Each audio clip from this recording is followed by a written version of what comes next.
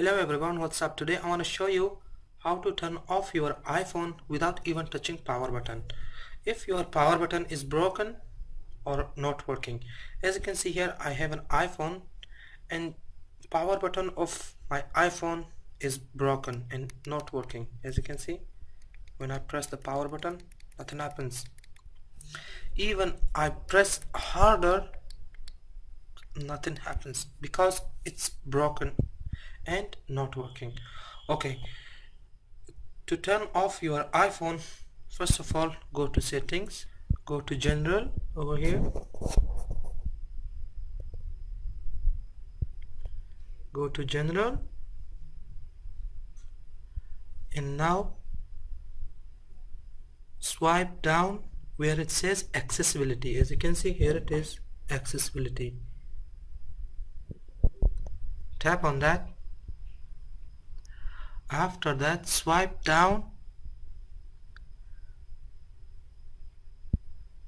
Come down where it says assistive touch.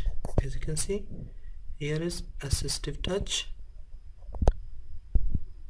Tap on that and now turn it on. Okay once it's turned on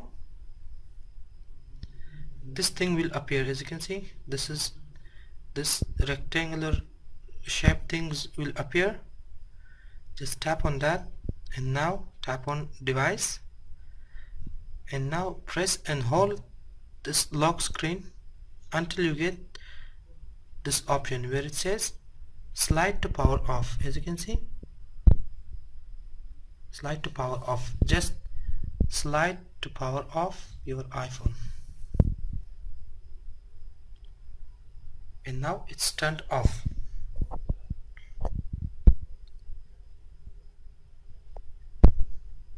Okay so that's it. This is how you can turn off your iPhone without even touching power button. Okay guys. I hope this video was helpful for you. If it did then subscribe to my YouTube channel for my upcoming videos.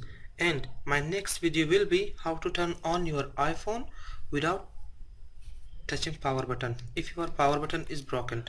So if you want to watch that video then make sure to subscribe to my youtube channel to stay updated from my latest videos. So I'll see you next time. Till then peace out